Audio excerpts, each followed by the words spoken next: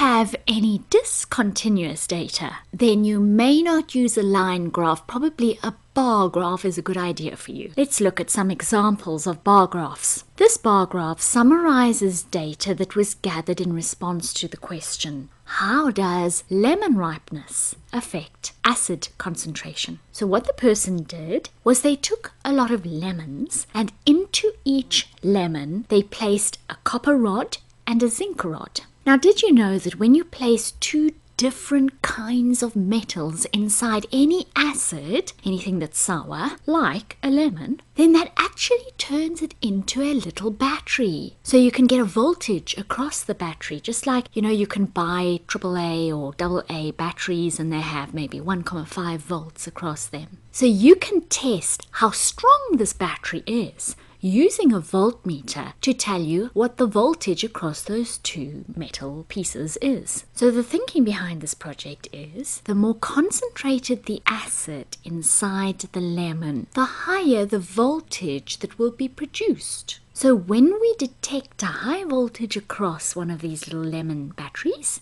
then we deduce there must be a high concentration of acid inside the lemon. And since one of the acids inside the lemon is ascorbic acid, also called vitamin C, then that can tell us if that's a healthy lemon to eat. Or must we rather wait until it's riper or what? Until it's the best time to eat it that it's got the most vitamin C in.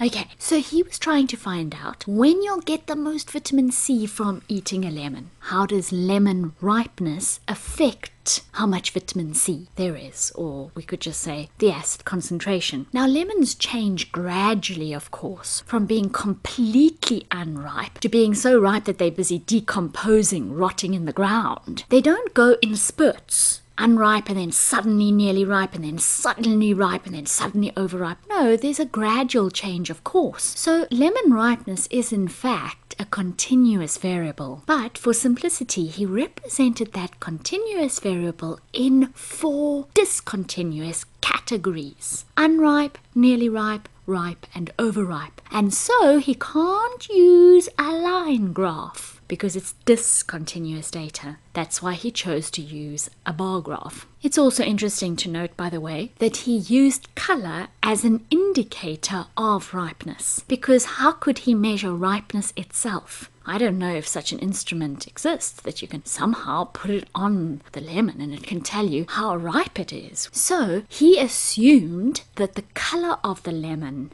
is linked to its ripeness. So he categorized lemons according to their color. So he said, those are green, therefore they are unripe. And then these are yellow green, so we'll call them nearly ripe. Those are yellow, we'll say they ripe. And those ones are turning a bit black, so we call them overripe. By the way, I do hope that you are realizing that in each of these things I'm saying, there is a bit of a danger, and we call that experimental error or limitations, but we will speak about such things in another movie. Right, so then he measured the voltage across each of these lemons. And we can just see at a glance that what this is saying is the voltage rises as the lemons ripen up to a point and then drops. So we might conclude from that that there gets more and more vitamin C inside the lemon up till it's ripe, and then as it starts getting overripe, then the vitamin C concentration decreases. So it's best to eat lemons when they're ripe.